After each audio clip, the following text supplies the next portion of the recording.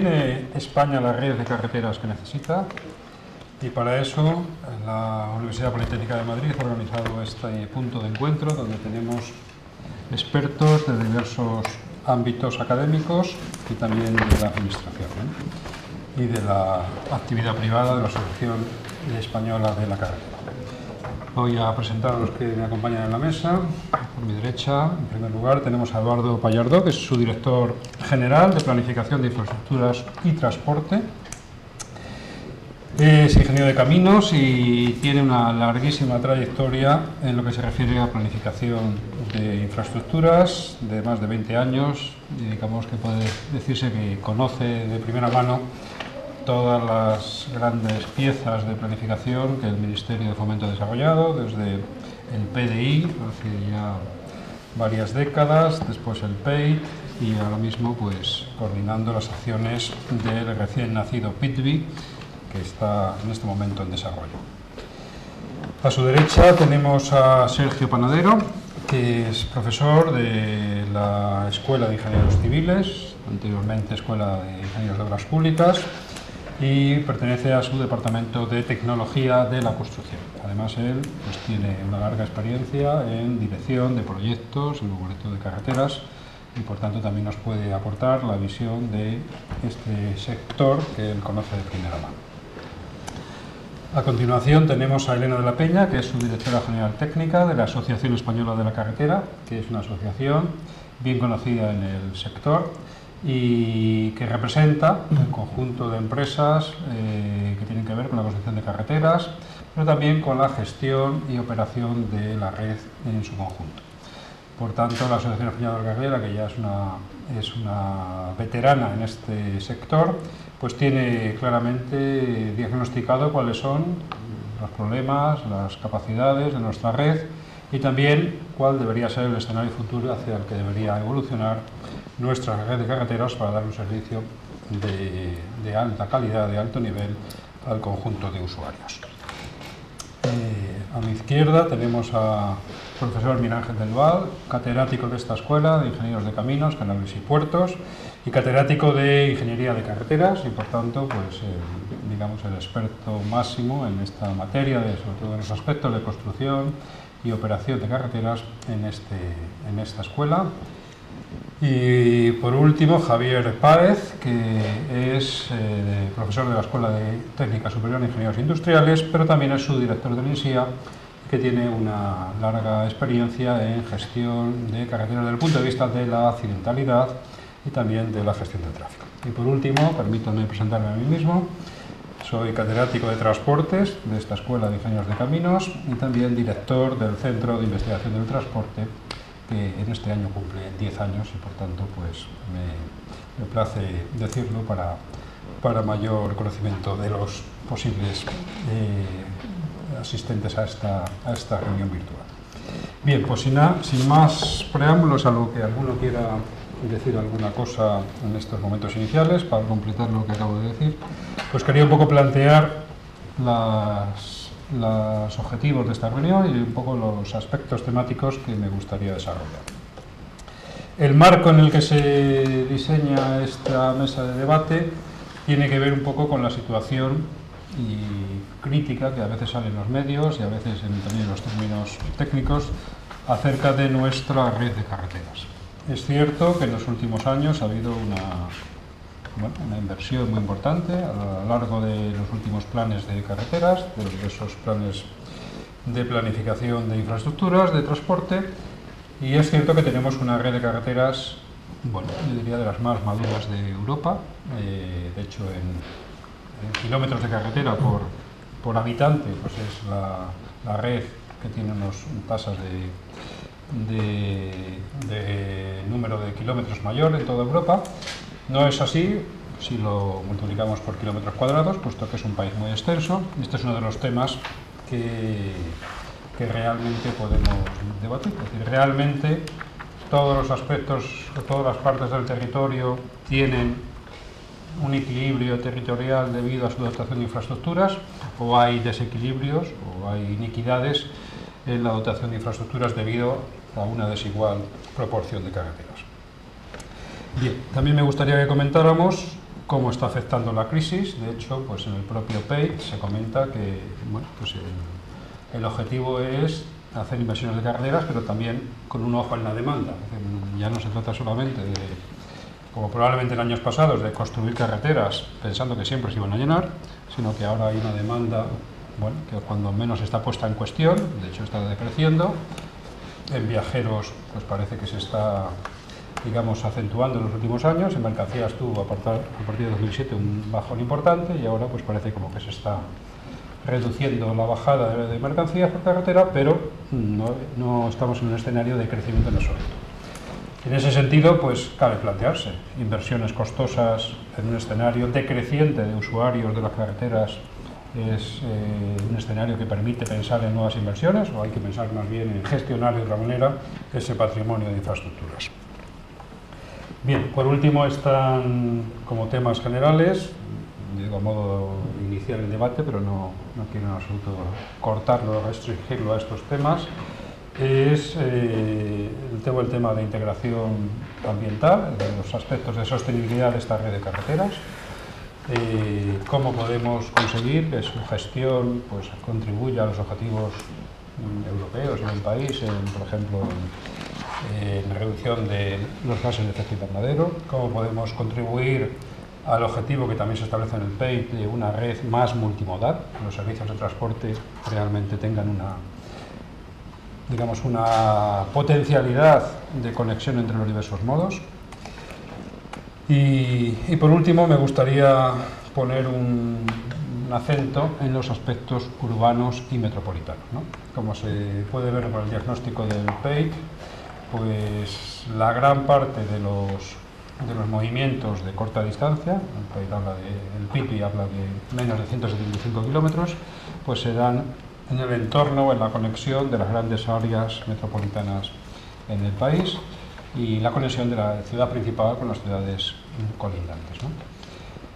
Están esos tráficos de movilidad de corta distancia, pero que son movilidad diaria, que son todos los días, no son los movimientos de larga distancia, que son más ocasionales, están debidamente soportados con una red capaz, pero sobre todo segura, y que, no, que limita o que reduce o que tiene en cuenta las políticas de reducción de efectos externos, concretamente contaminación y, y, afección a las poblaciones eh, colindantes, tiene esa red de carreteras esas cualidades para que sea una, una, red de carreteras moderna y perfectamente integrada con el tejido urbano sin producir impactos negativos severos.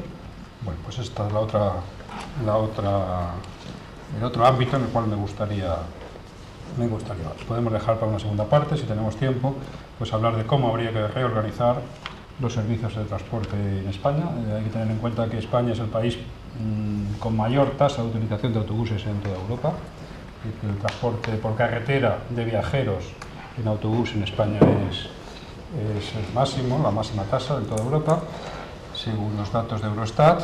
Eh, lo cual quiere decir que el ferrocarril está teniendo una tasa muy baja, eh, lógicamente, pero quiere decir que la carretera no solamente es el vehículo privado, el coche, sino que también está dando un servicio público a muchísima gente que tiene una dependencia del transporte público y tenemos un sistema de autobuses que funciona muy bien.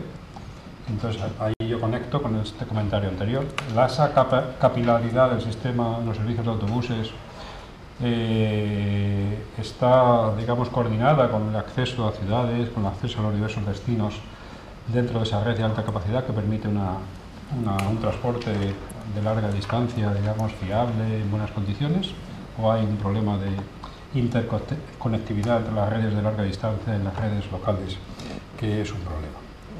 Bien, pues yo sin más, pues abriría un poco el comentario. Yo no sé si como he empezado a, presentar por mi derecha, pues no sé si Eduardo Pallardó, ¿quieres hacer algún comentario al hilo de lo que estamos comentando? Pues yo creo, Andrés, que has introducido los temas bastante con bastante precisión y un poco subrayados y los, los, elementos de, discusión clave. Efectivamente, como has citado en la presentación, después de, después de 20 años de, participar en los distintos planes que ha estado haciendo el Ministerio ahora de Fomento, pues ha ido cambiando un poco la, visión, de, los temas. Eh, hace 20 años los temas de dotación eran lo, esencial y en este sentido eh, esta utilización de los indicadores europeos de dotación, valor absoluto, por población, o por riqueza, o por superficie, pues era el punto de partida de cualquier plan. Entonces, ahora ya no lo es tanto, en parte también porque los, porque los datos, en cierto sentido, eh, con, los, matices que has dicho, sí que muestran que, que, en, valores absolutos España es uno de los países más dotadores de, carreteras de alta capacidad. La, la, pregunta que queda pendiente es si el, si el proceso de, de despliegue de la misma ha sido homogéneo y ha sido siempre dirigido por por, los criterios de máxima eficiencia o, por, ha sido más, más, motivado por, por, decisiones ad hoc que pueden haber hecho que efectivamente esta situación que en general es favorable en, términos locales pues no sea ya tan favorable. Aunque eh, nosotros en el Ministerio entendemos por lo menos que actualmente no hay estrangulamientos del sistema de infraestructura de carreteras que estén, eh, por decirlo así, de alguna forma minando capacidades potenciales de, desarrollo económico, de actividad económica, de industria, de industria etcétera. Sí que, sí que es cierto, si quieres esto lo dejamos para, para, para una ronda posterior, es que desde el punto de vista de, su, de cómo se gestiona la red, estaba también en, el, en la lista de temas a, plantear, pues hay, pues hay algunas dificultades, diferencias de, de criterio, de acceso y temas que en el que en el, que en el largo plazo pues habrá que ir eh, ajustando mejor de, cómo están ahora. Sobre la demanda, para terminar mi, primera intervención, efectivamente estamos viviendo con, con el tema crisis una, una caída de demanda muy importante, más en mercancías que en pasajeros, en pasajeros, en viajeros también. Eh, entendemos, aunque todavía los datos de 2013 no nos dejan ser demasiado optimistas al respecto, que mm, progresivamente esta, esta caída se está por lo menos frenando y hay que tener en cuenta que quizás no en, no en los ritmos que se preveían hace 5 o 6 años la, la, demanda a medio largo plazo volverá, volverá a crecer, por lo cual eh, eh, aunque no esté en las máximas prioridades, sí que hay que seguir reflexionando en el desarrollo de la red a largo plazo. ¿Volverá a crecer es porque tenéis algún dato o expectativa? Eh, bueno, el dato es que, que, decrece más despacio y lógicamente en un contexto como se espera de, recuperación de la, de la economía, pues quizás eh, no a las tasas en que se pensaba hace, hace años, pues eh, las necesidades de transporte siguen un poco a la, a la, evolución de la economía general. Ya veremos con qué tipo de elasticidad. En el Ministerio pensamos que que no va a ser tan rápida como, como era antes, pero la, la, crisis todos esperamos y deseamos que no, es una cosa eterna. Oye, frente a, bueno, por supuesto, si alguien quiere intervenir, que no, no lo sé, aquí protocolo de uso de la palabra. El hecho de que haya esa como percepción generalizada de que hay una, una, red madura y que la capacidad es suficiente en la mayoría de los, de los ámbitos territoriales, supone que hay menos, a, este momento hay menos demandas por parte de las comunidades autónomas o ayuntamientos o en fin, ámbitos territoriales que se sientan todavía en una situación, vamos a decir, peor que otros o digamos todavía sigue habiendo pues digamos peticiones de construcción de nuevos proyectos importantes o... Sí, hay, hay cuestiones sobre todo principalmente hay, alguna petición, eh, alguna iniciativa adicional pero sobre todo hay corredores que se, que se planificaron eh, ya mm, por lo menos en, la, fase en la fase PEIT, es decir, 2005-2006, incluso algunos mm, se, habían anticipado ya antes que, que están pendientes de, de desarrollar. Eh, en el, en el, en el no no a corto plazo, pero sí como una imagen de, como una imagen de largo plazo se recogen todas estas iniciativas. Hay, algunos temas de, más urgencia, como son los, los, cierres de corredores que están, que están hechos en más de un 70-80%, y hay otras actuaciones de, en gran parte de muy nueva planta que siguen estando en la planificación, pero con su calendario precisamente habrá que ir ajustando a, a los recursos, que de momento no son nada positivos, y a la evolución de la demanda, que, que esperamos que sea positiva, pero más, más un poco más a medio largo plazo.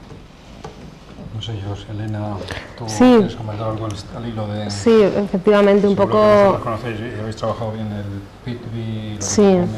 Sí, efectivamente. Yo más que, bueno, sí que me gustaría comentar que alguna vez en estos últimos meses o años hemos escuchado algunos medios de comunicación a políticos hablar sobre una frase que a nosotros eh, nos duele especialmente por su repercusión ¿no? para toda la sociedad y es que en carreteras está todo hecho. ¿no? Pues bueno, yo creo que todos los que estamos aquí eh, sabemos que en carreteras no está todo hecho, que hay cierres de itinerarios que están pendientes, pero que también hay muchas otras cosas que son muy importantes y que es necesario actuar sobre ellas cada año. ¿no? Y me estoy refiriendo claramente a la conservación de carreteras. ¿no? La conservación de carreteras es algo que tiene que estar en todos los programas de todas las administraciones eh, anualmente y ahora mismo arrastramos un serio déficit pues debido a esta crisis económica que nos ha llevado a que se hayan disminuido las inversiones en este capítulo. ¿no? Yo también quería comentar en relación a lo que, a lo que hablamos, hablábamos ahora de ese ratio positivo de kilómetros de carretera que tiene España respecto a otros países europeos y que es verdad que hace 10 años estábamos un poco en la mitad y hacia la cola y ahora mismo estamos en muy buena posición, pero yo creo que precisamente por ese salto mm, tanto cuantitativo como cualitativo que hemos dado, deberíamos empezar a, medir no en kilómetros, sino en kilómetros de calidad. ¿no? O sea, eh, en realidad eh, no importa tanto tener eh, kilómetros de autovía o de autopista, sino tener kilómetros de autopista y de autovía que funcionen bien. ¿no? Y en ese sentido, pues está claro que tenemos autopistas que ahora mismo parece que podríamos no haber construido. ¿no? Desgraciadamente ahora es tarde y la carga la vamos a soportar todos los ciudadanos pero también es cierto que tenemos otros itinerarios congestionados que sería necesario construir terceros carriles, ¿no? que se cuestionan de manera sistemática todos los días o todas las semanas. Entonces, bueno, un poco el mensaje de que en carreteras no todo está hecho, sí que me gustaría ponerlo sobre la mesa. Y, bueno, también la situación de crisis que está con nosotros desde hace tantos años y que esperamos que no dure toda la vida, como comentaba ahora mismo Eduardo, eh, bueno, pues también yo creo que nos va a permitir eh, pensar un poco más con más criterios de eficiencia ¿no? y, y evitar que se produzcan situaciones como las que ahora tenemos de eh, infraestructuras en baja demanda, hoy nos ocupan las carreteras, podríamos hablar también de, de otras, de, otras infraestructuras y bueno, pues evitar que esa situación se vuelva a producir. ¿no? Creo que ya no, no estamos para excesos y, y, derroches como se hicieron en su día y, y, bueno, también un poco el mensaje positivo de que son situaciones un poco aisladas, ¿no? la mayor parte de las infraestructuras se han construido con criterios eh, razonables. O sea que no crees tú que pueda, por decirlo así, decirse con carácter general que aquí se han hecho cosas excesivas, sino bueno, puede haber el ejemplo que es el que sale en la prensa del, exceso, pero... Efectivamente, lo que pasa es que al final cuando uno suma cosas aisladas en distintos sitios salen unas cuantas. ¿no? Yo creo que nos va a venir muy bien ese criterio de eso de pensar, empezar a valorar realmente la demanda, de empezar a valorar la rentabilidad económica, intentar dejar un poco esos criterios políticos, entre comillas, que a veces han, han, nos han llevado a tomar esas decisiones que al final han demostrado que no eran infraestructuras necesarias. ¿no? Y desde el punto de vista, quizá por ti, Sergio, de toda la gente que trabaja en el sector de la carretera, es decir, cómo, cómo está reaccionando, reconvertiéndose, como podemos decir, eh, tomando posiciones para intentar adaptarse a este nuevo escenario de baja inversión, al menos en construcción. Efectivamente, como tú bien dices, baja inversión en construcción y un poco al, hilo de lo que venía comentando Elena, en conservación también. Yo creo que la red de carreteras que tiene España ahora mismo, que está creo en torno a los 14.700 kilómetros de autovía o de vías de gran capacidad, que si la comparamos con, por ejemplo, Alemania, que está en 12.700, estaba creo que a 31 de diciembre del 2011, es decir, estamos somos el país con una red de carreteras de alta capacidad, somos el primer país de la Unión Europea, de hecho. ¿no? Entonces yo creo que en cuanto a carreteras a nivel de infraestructuras estamos a un nivel adecuado y bajo mi punto de vista lo importante ahora mismo es conservar ese patrimonio activo que tenemos y yo creo que en ese sentido mm, debemos de centrar nuestros esfuerzos fundamentalmente, yo creo, en conservación de carreteras para mantener ese, nivel de infraestructuras que tenemos. Y luego, por supuesto, siempre se puede seguir trabajando en carreteras, como bien comentaba Elena, en aquellos puntos donde realmente hay que ser, evidentemente siendo selectivo, pero donde realmente es más importante, pues porque haya problemas de... Mm, porque no, no debemos de olvidar que todavía, por ejemplo, ha habido lugares donde hemos transformado carreteras convencionales en autovías, con IMDs, intensidades medias diarias de vehículos relativamente bajas y sin embargo hay otras zonas en las que nos siguen quedando carreteras convencionales con travesías, ¿no? entonces carreteras convencionales de ámbito nacional, de la red de carreteras del Estado. Entonces, pues quizás debemos de conjugar un poco eh, en ese sentido pues la posibilidad de adaptar esas carreteras mediante variantes, acondicionamientos de trazado, ensanches de plataforma, es decir, mejorar la red de carreteras convencional, que en algunos casos es suficiente, entiendo yo, y por supuesto em, insistir yo creo que en la conservación y también en algún caso, ¿por qué no?, en las zonas con una mayor demanda, realizar ampliaciones a terceros carriles o mejorar lo que es el flujo del tráfico. ¿no? No sé si al hilo de estos temas de conservación y mantenimiento, y también de las travesías, que tiene que ver con la seguridad vial, si queréis añadir alguna cosa, Miguel Ángel. Bueno, eh, yo lo que querría es empezar diciendo que en tu presentación eh, has planteado, no sé si todos los temas, pero muchísimos. Mm, me parece que en absoluto podemos abordarlos aquí es que has hecho una panorámica tan sumamente amplia. Eh, en lo que a mí respecta, me gustaría centrarme solamente en, unos pocos, porque creo que, lo demás es, eh, puede resultar excesivo. Luego también, en, relación a, tu presentación y algo que se ha dicho, eh, yo quiero hacer una precisión que luego no va a ir más allá, pero creo que cuando en España, sobre todo por parte de los políticos, se dicen determinadas cosas, Mm, no, sé mm, a quién pretenden impresionar. Por ejemplo, que la red de carreteras española de alta capacidad es la de mayor longitud de Europa. Mm, eso no es cierto. Eh, en Francia, nosotros tenemos, como se ha dicho, algo más de 15.000 kilómetros de vías de alta capacidad. En Francia, según datos de 2008, en ese año, vamos, supongo que no habrán aumentado, tenían 16.500, un poco más.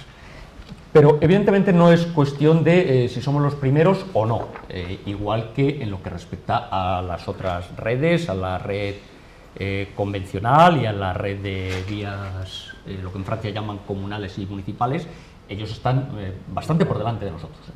Pero insisto, insisto no esa no es la cuestión, la cuestión es si con lo que nosotros tenemos cubrimos suficientemente las necesidades de accesibilidad y movilidad. Yo creo que eh, si hay que responder de manera sintética, eh, creo que se puede decir que sí, que sí, hay, problemas eh, localizados, pero en general yo creo que ahora no nos debe preocupar, a mí por lo menos no me preocupa en absoluto, que la red no siga creciendo.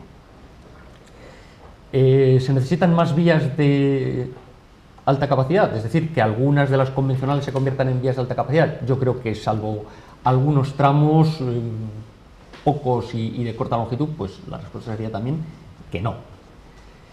Eh, ¿Necesitamos acondicionar la red convencional? Evidentemente sí. Eh, hay, una buena parte, no tanto la que depende del Estado, aunque puede haber alguna definida, como la de las, redes que dependen de las comunidades autónomas y de las diputaciones provinciales, por supuesto. O sea, porque eh, si lo centramos solamente en la red de carreteras del Estado, vamos a perder una buena parte de aquello a lo que debemos atender. La mitad. Mm, incluso en longitud, más, bastante más. Decía en cuanto sí. con los kilómetros, mm. más o menos. Sí. En números redondos podríamos decir que sí, pero mm, es importante tener eh, presente lo que ocurre en eh, otros niveles administrativos diferentes del Estado. Y luego, en cuanto a las necesidades de conservación, yo creo que ya se ha apuntado en la, en la presentación, hay un patrimonio creado del que hay que ocuparse y eh, no nos podemos permitir el lujo de que ese patrimonio se degrade. Hay que dedicar permanentemente unos recursos que no se están dedicando. Y eh, mi tesis eh, en este momento es que no es tanto aumentar las dotaciones presupuestarias que se dedican globalmente a conservación y explotación, lo que en, los presupuestos generales del Estado es el capítulo 453C, sino que eh, esos presupuestos que se dedican globalmente a conservación y a explotación eh, se deben distribuir de otra forma. Bien es cierto que existen algunas dificultades porque eh, se está teniendo que dedicar parte de esos recursos a excesos que se cometieron en los años pasados, a cosas que se plantearon mal. A la pregunta de si se cometieron excesos, yo creo que se cometieron excesos.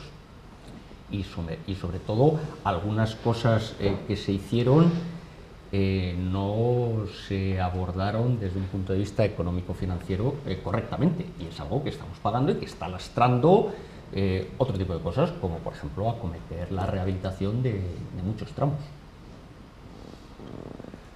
Muy bien, no sé si el, punto de vista también de la seguridad vial, que lógicamente va muy ligado a la conservación y no solo del pavimento, sino también de la señalización, las marcas viales. Bueno, yo, como soy más soy un poco el bicho raro de la mesa, porque soy más del vehículo, digamos. Digamos que eh, eh, has introducido un tema importante en el, debate, que es el tema de la seguridad, y digamos que ahí yo creo que eh, en la actualidad, desde el punto de vista del vehículo y la, asociación con la carretera, al ser un factor muy importante, mm, ahora mismo lo que está más en los medios quizás no tanto las inversiones en el propio trazado, que tienen su importancia pues, desde la corrección de posibles tramos de accidentes o situaciones un poco eh, trazados de, mejor o peor calidad, sino lo que está quizás más en el debate es cuál es eh, la influencia que tienen las inversiones, sobre todo de mantenimiento, en lo que puede ser por una parte el mantenimiento del vehículo y su influencia de mantenimiento y por otra lado en la seguridad y por supuesto en los accidentes. Eh, desde el punto de vista del mantenimiento, lógicamente digamos que esta situación de reducción de las inversiones en el aspecto presupuestario y de conservación de mantenimiento de carreteras eh, ha tenido o se ha producido en combinación con otros factores eh, que también se han producido debido a la crisis, como es a la vez un envejecimiento del parque muy acelerado, de envejecimiento de los vehículos, eh, con lo cual, digamos, mm, lo que pueden ser problemas de mal estado de la infraestructura también puede agravar este efecto sobre el mantenimiento, porque además son vehículos que eh, prácticamente en tres años eh, la edad media del parque ha envejecido en tres años, con lo cual digamos, eh, ese envejecimiento, y sobre todo en vehículos de transporte de mercancías ligeros, como pueden ser furgonetas, ese envejecimiento ha sido muy superior del parque. Y desde el punto de vista de la seguridad, pues es difícil discriminar o identificar cuál es exactamente el efecto de esta reducción en, las inversiones en cuanto al, al mantenimiento, puesto que también se ha combinado con un periodo que ya comenzó, pues si podemos considerar que las inversiones han empezado a disminuir a partir del 2008-2009 en mantenimiento, eh, la mejora en la seguridad vial y sobre todo la reducción de accidentes viene, es un efecto anterior, es decir, es un efecto que, debido a acciones sobre fundamentalmente legislativas en relación con pues, el carnet por puntos, etcétera, pues viene un poco anterior, es decir, viene del 2004, entre 2004 y 2006 aproximadamente, esta, mejora en la seguridad. Con lo cual, eh, hay una tendencia en los medios a, eh, agravar el papel que tiene el, mal estado de, la infraestructura sobre los accidentes de tráfico. Pero lo cierto es que es difícil ahora mismo, a día de hoy, identificar cuál es el efecto real que tienen los accidentes. Con lo cual es un punto que yo creo que está abierto, que se habla, se habla sobre él con mucha ligereza, porque es fácil decir, bueno, como tenemos mal las carreteras, esto aumenta los accidentes, pero es cierto que no es fácil identificar en el conjunto de factores que tenemos actualmente eh, cambiante, como es el crecimiento del parque. Eso es, De todas formas, eh, bueno, digamos, se ha comentado antes que habría que distinguir, ha comentado Miguel Ángel, cómo se está comportando la red de alta capacidad, que efectivamente puede ser tiene problemas, pueda tener problemas de mantenimiento como debiera tener, por lo que sea, pero quizá el énfasis ahora se está poniendo en seguridad vial, cada, en los últimos años, en la parte de las eh, redes regionales o de las diputaciones. Mm. ¿Por qué? Porque la mitad de los accidentes suceden en esas vías. Y así como en el resto ha bajado de manera drástica el número de accidentes, lo cual hace que estemos muy orgullosos, la Dirección General de Tráfico en particular, y con toda razón, pero el problema ahora mismo hace o desvela más el problema que tienen esas carreteras secundarias que probablemente la inversión de mantenimiento, de señalización y es mucho más importante. No sé si De todas formas, Andrés, a mí me gustaría subrayar lo que ha dicho Javier. Eh, hay que ser muy cuidadoso a la hora de eh, correlacionar esos déficits en ese tipo de vías por, eh, de trazado, de señalización, de lo que sea, con la accidentalidad. O sea, hay que tener cuidado porque algo que, se ha constatado es que en muchos casos esos accidentes se producen porque una parte de la población parece que ha perdido la costumbre de circular fuera de autopistas y autovías. Y no podemos convertir el 100% de la red en autopistas y autovías. O sea que es cierto que la accidentalidad es mayor en esas vías, pero a la hora de buscar una eh, posible correlación eh, entre su estado y, y la accidentalidad hay que ser muy, muy cuidadosos. Sí, bueno, un paréntesis para volver luego al tema de la seguridad vial que a mí me parece sumamente interesante. Es un tema que ha apuntado Miguel Ángel y es el del valor patrimonial de las redes de carreteras. Eh, yo creo que, mm, por poner un poco el contexto, aquí ahora mismo estamos teniendo un debate técnico, por encima o más bien por encima de nosotros hay un debate político, pero yo creo que tenemos también un poco la responsabilidad y una acción como la que tenemos hoy. El debate político estará por debajo, no por encima. bueno, depende desde qué punto de vista lo miremos. Vamos a ponerlo igual. Desde el punto de vista del rigor. Sí.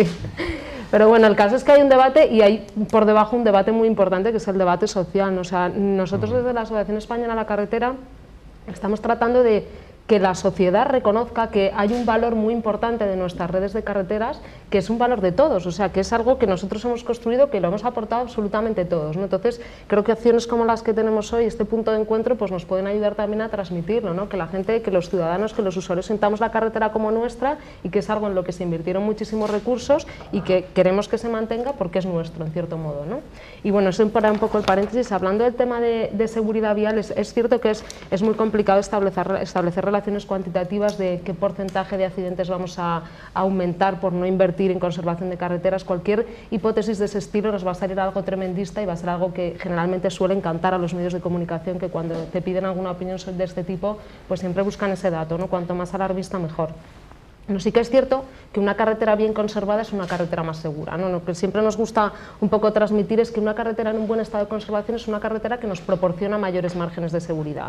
El que circule a una velocidad elevadísima y sin prestar atención, pues le va a dar igual si la carretera está bien conservada o está mal conservada. Pero la persona que vaya circulando no con toda su atención, eh, que se encuentre en una situación durante la noche, que eh, haya condiciones climáticas adversas, pues si tiene un firme en buen estado es más probable que no se produzca un accidente por salida de vía con consecuencias graves. Si el accidente por salida de vía se produce y hay un buen sistema de contención que le contiene adecuadamente, pues no se producirá un vuelco con un accidente con consecuencias de víctimas mortales o heridos graves. Por lo tanto, eh, siempre una carretera en un buen estado de conservación, tanto en el firme como en el equipamiento, que las señales se vean bien durante la noche, o cuando llueve o cuando hay niebla, pues nos va a dar un mayor margen de seguridad. Y eso también es importante. Y en cuanto a las vías convencionales, está claro que ahora mismo en temas de seguridad nuestro problema está mucho más en esas vías convencionales. Decíamos eh, que en torno al 75 al 80% de los accidentes ahora mismo se están produciendo en ese tipo de carreteras, perdón, de las víctimas mortales. ¿no? Entonces, bueno, ¿qué, podemos hacer ahí? Pues, pues tenemos que hacer muchísimas cosas, no, no solo en la infraestructura,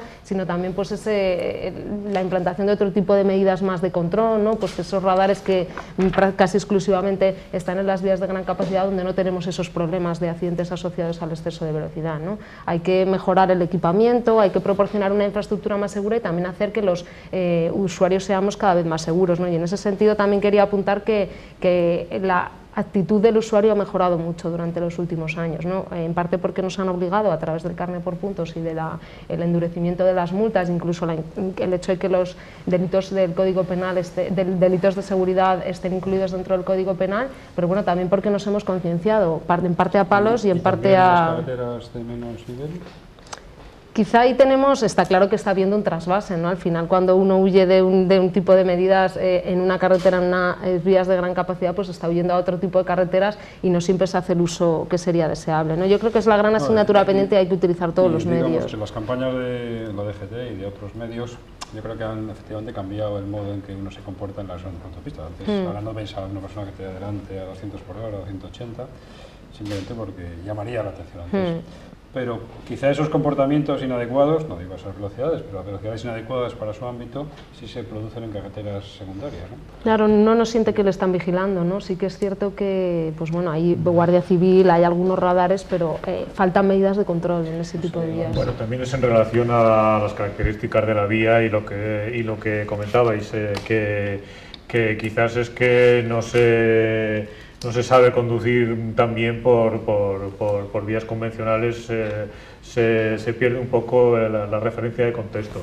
Yo quería decir en el mismo sentido, es decir, que, que, los, factores de la, que los factores de la seguridad, la accidentalidad son muchísimos y que aunque efectivamente lo que hemos, lo que hemos hecho contribuye y está contribuyendo a su mejora, eh, yo casi le doy la mayor parte del, del, mérito al cambio de comportamiento social, es decir, como comentábamos antes de, de, de la familia, locos hay en todas las generaciones, pero en, eh, en líneas generales el, comportamiento en la conducción de la generación de nuestros hijos es más, es más responsable que el que teníamos nosotros cuando, cuando teníamos 25 o 30 años. Y, eso pues efectivamente con el, con el tiempo se va notando, viene, viene un poco en la, en la, en la línea del, del, progreso social en general y si comparamos con, con lo que ha pasado, está pasando en, en, otros países, por ejemplo los nuevos miembros de la Unión Europea en relación con cómo estábamos nosotros hace hace 20 o 25 años, pues vemos que hay una tendencia. En ese sentido, pues claro, tenemos que, tenemos que intentar actuar en todos los frentes y en ese sentido saber qué a qué contribuye cada cual, pero sin, sin exactamente, sin, sin, entrarnos en discursos alarmistas o, o, de titular mediático que normalmente no, no son muy productivos para estas cosas. Quería decir también una palabra más eh, por parte del Ministerio en cuanto a mantenimiento y conservación. Eh, yo creo que hay una conciencia de que este es uno de los problemas en la hora actual y en ese sentido, pues claro, la, restricción de los recursos la restricción de los recursos es tremenda, pero vamos, también hay que también hay que hay que reconocer por lo menos el esfuerzo que está haciendo el ministerio, que claro, que de estos que de eh, dos, tres años para acá, pues de cada, euro que gasta el, Ministerio, eh, el reparto entre inversión nueva y, conservación ha cambiado radicalmente. Estamos casi, casi al 40% en, conservación. Quizás en un, en un contexto de, de, más disponibilidad pues eh, se, reajuste, pero, pero en este sentido yo creo que, que, el, que el consenso es eh, bastante amplio en esta línea ya que, se, que, hagamos siempre lo, mejor en términos de, reparto de los recursos, pues, pues no es tan fácil.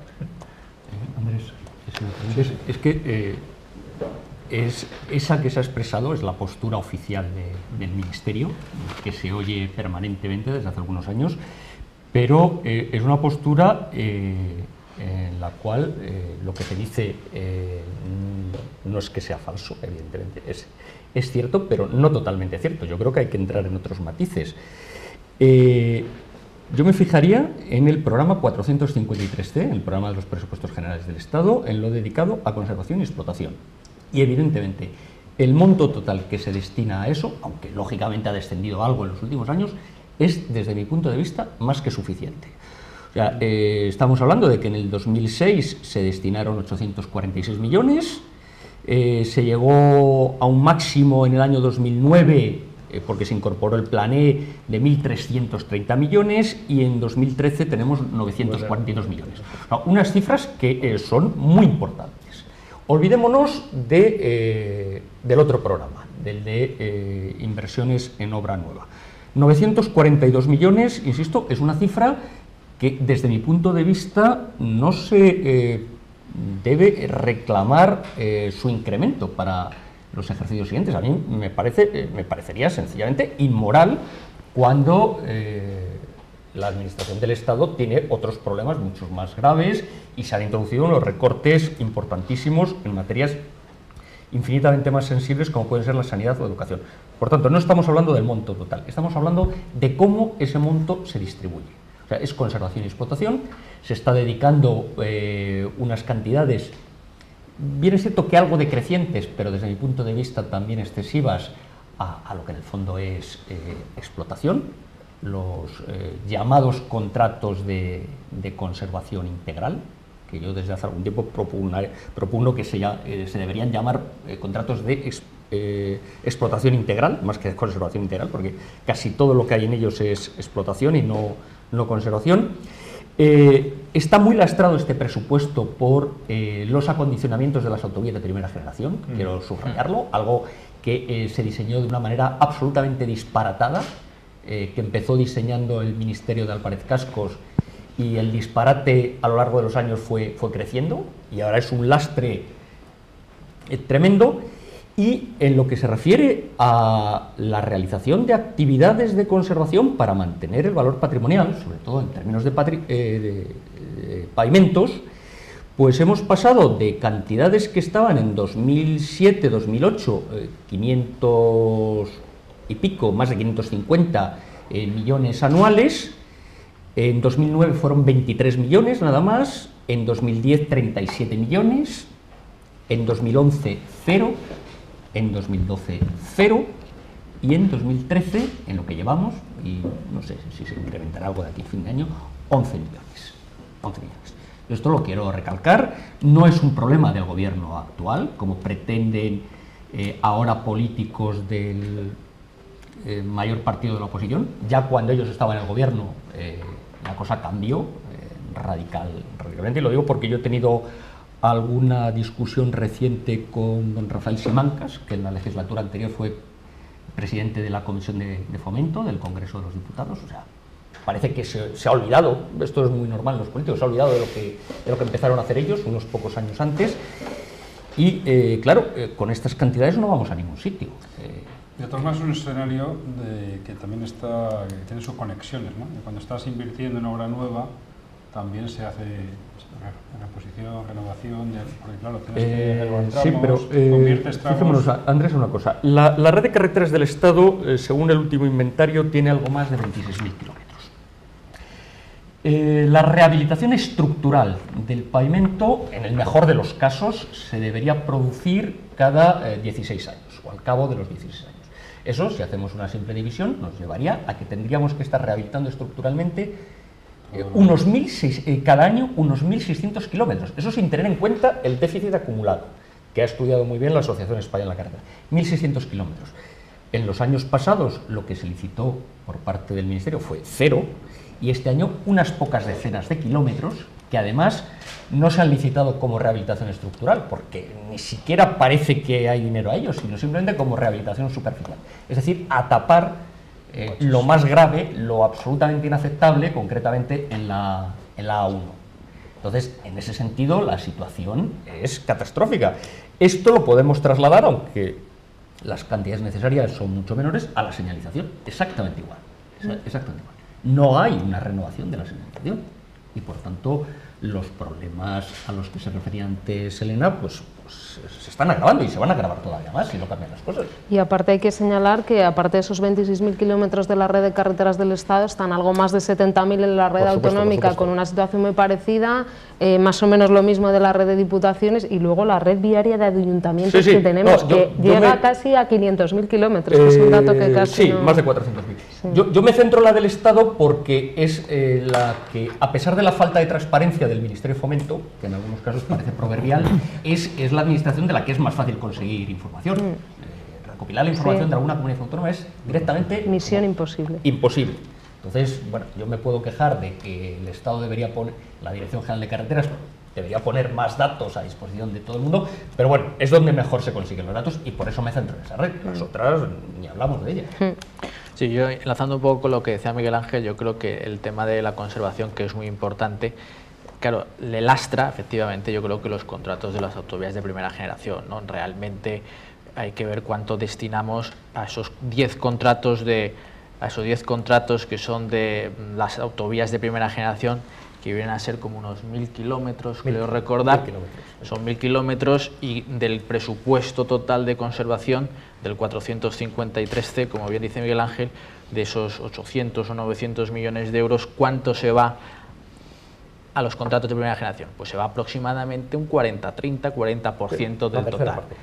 Se va la tercera parte. Sin embargo, en kilómetros son 1.000, refiriéndonos solo a autovías, 1.000 sobre 8.300 que tiene la Administración del Estado. Es decir, se va una tercera parte sobre un 12% de la red. No sé si me explico. Entonces, claro, realmente eso es una descompensación enorme. Yo creo que es yo creo que, bueno, ahora todo lo pasado, evidentemente, creo que se ve claro, ¿no? que no, le sale, no sale rentable al, contribuyente ni a la administración. ¿no? Y creo que ese es el lastre que tiene el presupuesto de conservación, bajo mi punto de vista. Son esos 10 contratos, bueno, 10 contratos y uno nuevo que es el cierre del Zamora Benavente, que son, va a salir a otros 27 millones de euros anuales durante 30 años, que es mucho dinero. No sé si... De sabéis. todas formas, no es a toro pasado, ¿eh? Eh, Sí. O por lo menos eh, algunos Ahora yo lo veo claro, veíamos pero- venir eh, Sí, sí. en el sentido de que, bueno, la información estaba sobre la mesa y había personas, no hace tantos años, que, mm, yo no sé, creían que vivían en el país de las maravillas. Yo, yo he traído aquí un libro que hasta hace poco estaba en la red, pero que ha desaparecido en la red, no sé si intencionada o accidentalmente, que recoge un debate en el que tuve el honor de, participar, eh, que organizaron en febrero de 2007 eh, la Dirección General de Carreteras del Ministerio de Fomento e INECO unos meses antes de que empezaran a licitarse los primeros contratos de acondicionamiento de las autovías de primera generación.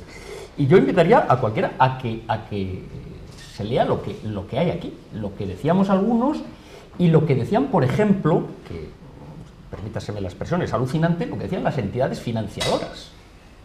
O sea, estas entidades que, lógicamente, ante las primeras dificultades han restringido sus líneas de crédito a, los concesionarios de, esos contratos.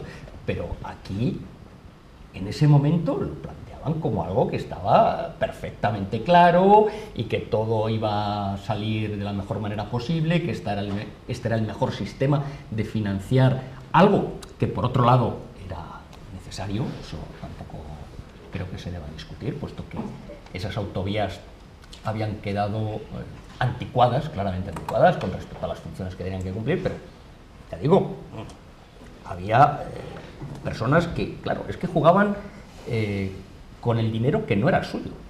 Porque al final el problema es que esos excesos, algunos eh, los convirtieron en absolutamente orgiásticos, pero el dinero era de los ciudadanos. Y somos los ciudadanos los que lo estamos sufriendo ahora. Y es el dinero del futuro, porque todavía quedan 13 años de concesión. Quedan muchos años, quedan bueno, mm, 13 de acuerdo con el contrato inicial. Vamos a ver qué pasa. O sea, Hombre, pues bueno, porque aquí, eh, frente a la pretendida inseguridad jurídica que, o frente a la no seguridad jurídica que algunos dicen que tienen las administraciones españolas, los concesionarios desde el momento, desde el primer segundo, están luchando por los reequilibrios económico-financieros, algo que no se atreverían a hacer en otros países. Vamos, que no se atreverían, no, Que que, no no, se atreven a hacer en otros países. O sea, que es que el tema es, es complejo. Y al final, el problema es que mm, no se dedican los recursos que hay que dedicar a lo que se tendrían que dedicar prioritariamente y eso lleva a una situación de la en la que, vamos, de la que ya la población se está empezando a dar cuenta y eh, volviendo a que es difícil eh, correlacionar eh, con la accidentalidad, pero sí es fácil, porque esos estudios existen desde hace décadas, correlacionar el mal estado de los pavimentos con el, mayor deterioro de, de los vehículos, agravado por el hecho de que no se renuevan convenientemente, un aumento en el consumo de, de combustible y un aumento de las emisiones de CO2, otro tema que al menos en la hoja que yo había recibido estaba y del que todavía no se había hecho nada. O sea, el tema tiene, tiene muchas derivadas. De todas formas, eh, digamos, por reflexionar un poquito más en este sentido, el hecho de que se hayan hecho esos programas de, vamos a decir, llave en mano, vamos a decir, por 10 años, 15 años, 20 años de, de mantenimiento de esas autopistas, autovías de primera generación, al menos indica un reconocimiento de lo que tú decías antes, que hay una caducidad de esas inversiones que exigen un compromiso de recursos de una manera continuada, ¿no? que los recursos sean excesivos, no se hayan distribuido de manera adecuada, pero digamos como principio filosófico me parece... No, no, hay, un es- sistema, hay un sistema de financiación del que algunos, por ejemplo en esta casa, y tú lo sabes también como yo, hay algunos verdaderamente entusiastas, son los apóstoles de la llamada participación público-privada, pero que no son lo mejor para eh, las cuentas de la nación. Y eso se está demostrando. O sea, aquí el mantra era, no, es que de esta manera no computa como déficit, ese era el primer error, porque lo que computa o no computa como déficit no lo decide el Ministerio de Fomento, no lo decide en absoluto el Ministerio de Fomento, en última instancia lo decide eh, Eurostat con los informes del Ministerio de Hacienda y del, y del Banco de España. Y claro, en esta situación, pues No, no, está Hombre, claro. desde luego al final es el Perdón, perdón. No, no co- co- se podría discutir si computaba o no como déficit, pero lo cierto, y de eso muchos olvidaban, es que acaba computando como deuda, que hay que pagarlo. que hay que pagar, hay que pagar. Y los que lo pagan no son las empresas constructoras que ya se han enriquecido muy notablemente con eso, como se eh, van a enriquecer con el, desde el punto de vista de este desgraciado tramo de Benavente Zamora. Los que lo pagamos somos los ciudadanos. Ellos, insisto, ya, ya han obtenido sus, sus ganancias.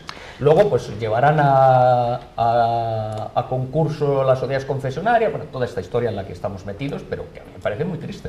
Y además eso repercute ese 30 o 40% que del presupuesto de conservación se come en esos 10 contratos, un programa de concesión, Pues- repercute en el resto de la red.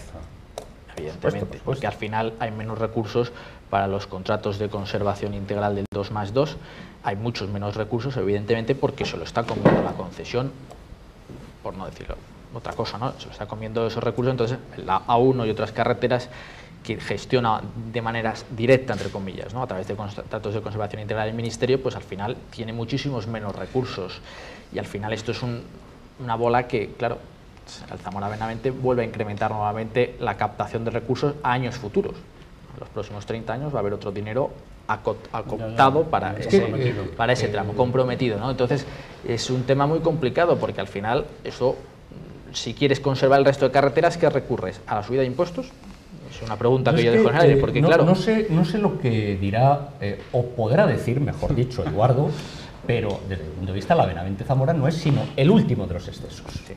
El último de Puede los ser. excesos.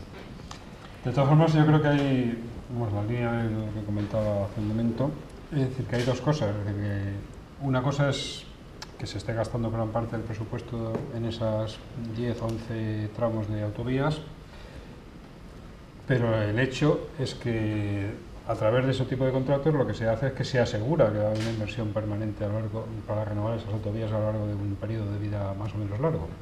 Cosa que antes... Se podía haber hecho de otras maneras. Se podía el hecho es se que debía ha haber hecho de ha habido unos maneras. años donde no se estaba invirtiendo en mantenimiento y esas autovías se estaban deteriorando de una manera alarmante con Más, grave más que que se estuvieran degradando, eh, es que eh, se habían eh, quedado anticuadas desde un punto de vista funcional. Funcional. Yo creo que ahí sí había un buen criterio por funcional, parte del pero también Ministerio. estructural. Es decir, que no se estaba- No, pero sobre todo, sobre todo funcional. Yo creo que había un buen criterio del Ministerio. O sea, eh, en el Ministerio está pendiente el que algún año acabe promulgándose una nueva ley de carreteras.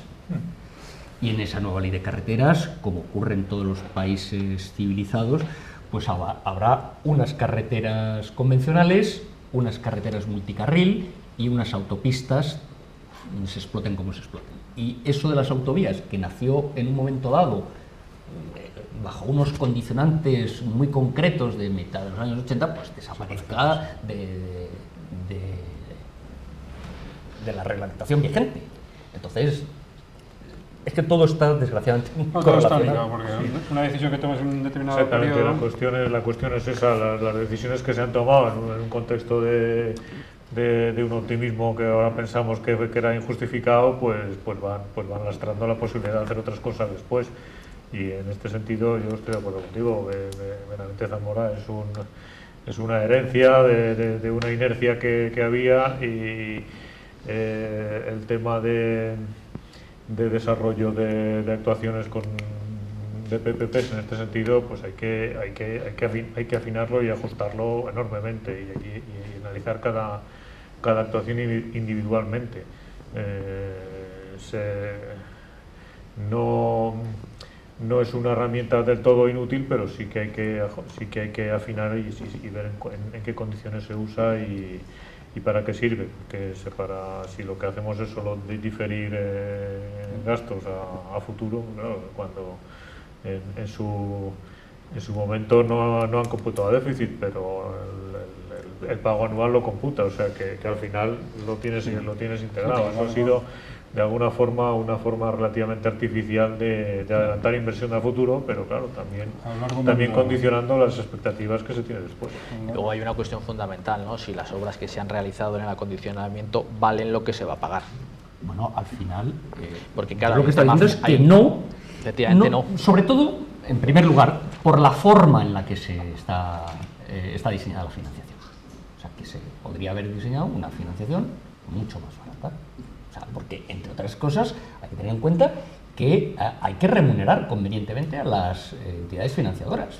A quien pone el dinero hay que remunerarlo. Esto no debemos olvidarlo. Y al final, Eh, es cierto que se pueden hacer cosas a corto plazo que si no habría que diferir, pero hay quien está ganando, que son los bancos, las empresas constructoras, y hay quienes estamos perdiendo, que somos los ciudadanos.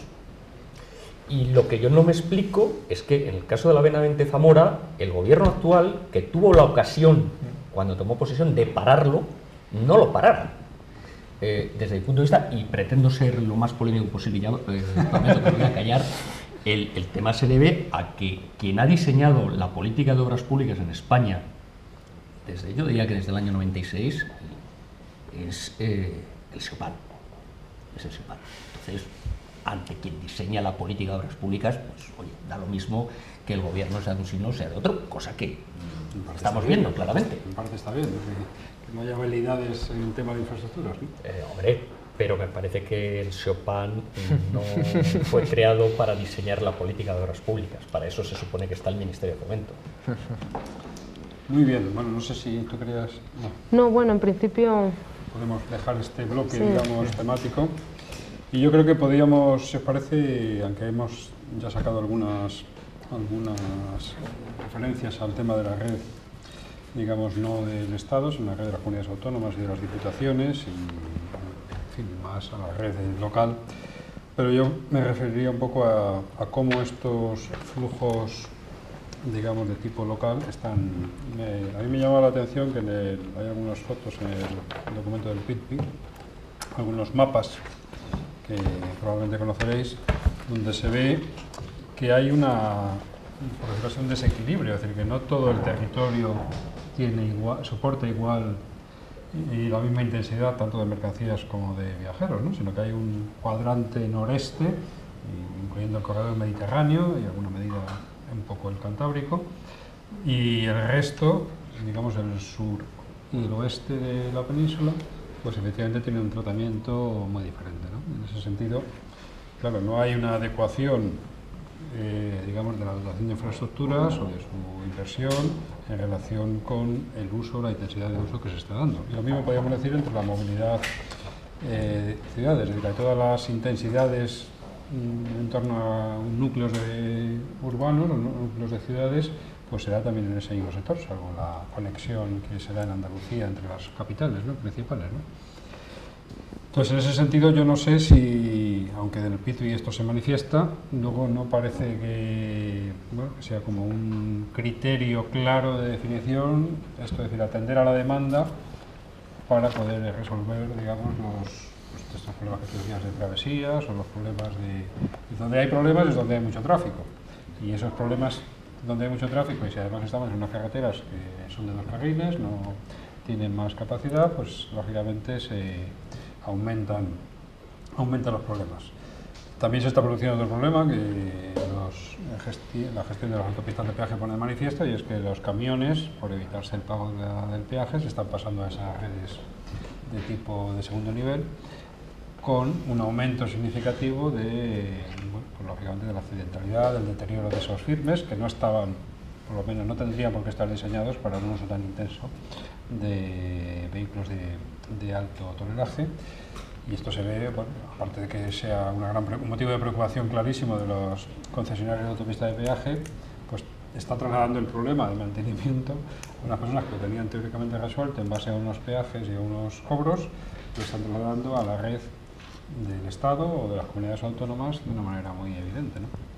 Entonces, no sé si esto entra dentro de replanteamiento a lo mejor de los costes o también normativo, bueno, pues que determinadas carreteras con determinado nivel de tráfico a lo mejor podría restringirse el uso de camiones de determinado tonelaje o, o favorecer el que vayan por las autovías de peaje o las autovías libres, pues en general, o autopistas, de manera que se, de alguna manera que haya un equilibrio en el uso de la red por parte de los diversos digamos, elementos o sus elementos o partes, digamos, del, parque circulante a lo de la misma, ¿no? Es decir, que no porque sea más barata la utilización, aparentemente más barata, y voy un poco al, comentario tuyo, para el usuario, es decir, para el, operador de transporte, si lo consideramos su conjunto, para la sociedad en su conjunto es más caro que circulen por esas carreteras, porque luego hay una intensidad en el coste de mantenimiento, los accidentes, también en la, en la sostenibilidad que no se daría si se circularan por las carreteras de alta capacidad que estaban diseñadas para eso, para soportar esos tráficos. ¿no? no sé, esta reflexión. Oye, por, por arrancar una pequeña reflexión al hilo de lo que comentas, eh, no sé si en ese sentido se, se, hace una divulgación suficientemente intensa a los, digamos, al sector del transporte, en este caso de vehículos pesados, pero sí que es cierto que depende de los trayectos, eh, no necesariamente recurrir a las vías secundarias es más económico para, para el transportista.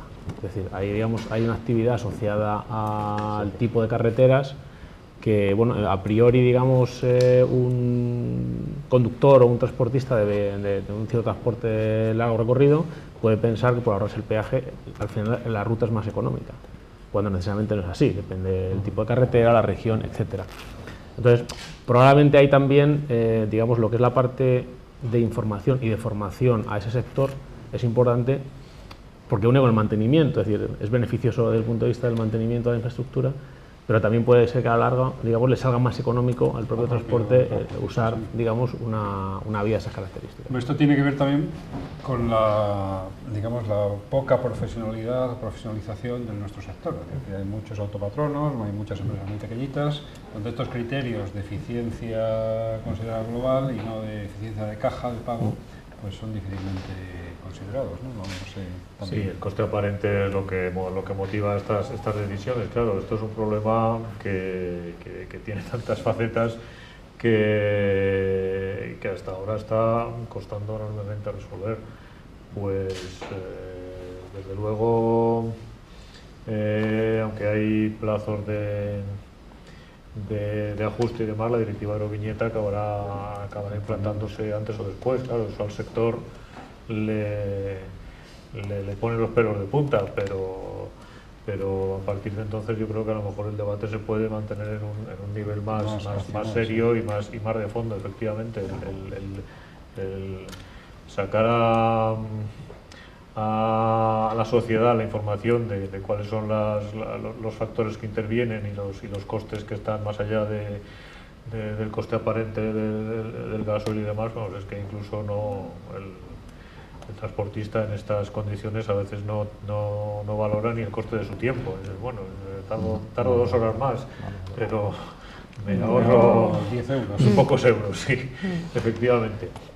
Y, y, claro, aquí, aquí el Ministerio, pues entre intereses contrapuestos, pues eh, tiene todavía que, que hacer frente a a los, plazos, a los tiempos, a, las, concreciones de su política, pero es un tema que, que, está, que está encima de la mesa y hay que, hay, que entrar en él pues, de la manera más, más abierta y seria posible. Yo recuerdo que estoy haciendo un trabajo con alumnos de esta escuela en, viviendo en el peaje de San Chidrián, de la Nacional 6, de la AP6, y supuestamente fuimos a medir en el puente de los Santos, que supuestamente, digamos históricamente, en el histórico de esa autopista era los días de máxima congestión en ese peaje, vamos, en todos los peajes, pero en ese en particular. Y fuimos allá a medir, eh, pues eso, colas y también para hacer un, trabajo de, de, consumos energéticos dentro del sistema de toma de peajes.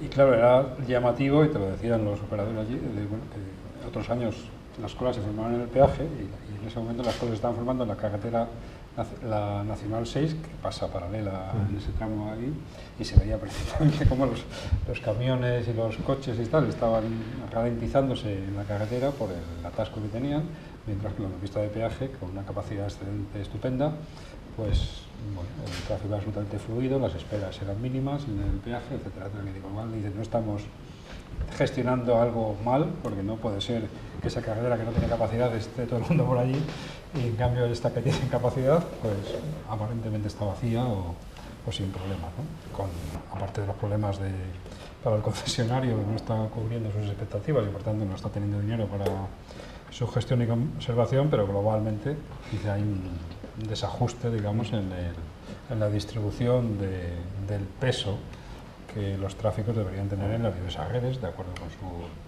con su, peso del vehículo, con la intensidad de la circulación, etc. Pero bien, efectivamente es algo que, no es fácil de resolver, porque claro, también en la línea de la libertad de uso, pero probablemente tenga que ver mucho con la profesionalización de nuestro, de nuestro parque y también con esas campañas, porque incluso el coche que, que los precios ahora mismo en esas autopistas no son altos, porque son unas concesiones ya renovadas y por tanto el precio de estas autopistas no es como cuando se construyeron, aunque que tiene un coste evidentemente, pero no te ahorras tanto por las razones que tú decías yendo por la autopista, por la autovía, por la carretera normal, la Nacional 6, que si vas por la autovía. Aunque efectivamente tienes que sacar de la tarjeta o del bolsillo y pagar 5 euros o 10 euros o sea, Sí, está claro que hay un desajuste en ese sentido. Yo también quería apuntar que ya hay gobiernos autonómicos que les están patrocinando, entre comillas, vehículos pesados que vayan por las vías de peaje, ¿no? En situaciones en las que las vías alternativas pues, están en obras y puede generar un problema adicional que vaya más tráfico pesado o sin estar en obras, ¿no?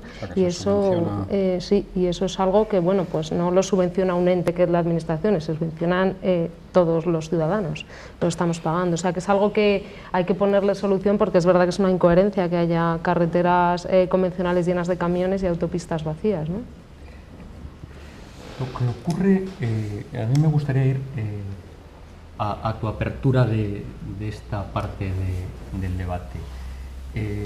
nosotros en España tenemos una situación muy complicada, en primer lugar por cómo es el territorio, y en segundo lugar, que, tiene relación con lo anterior, por cómo se distribuye la, población. si nosotros comparamos lo que es España con lo que es Francia o Alemania, ellos están en una situación ideal. Francia y Alemania, eh, eh, primero, el territorio es mucho más, más fácil para la construcción y explotación de, infraestructuras.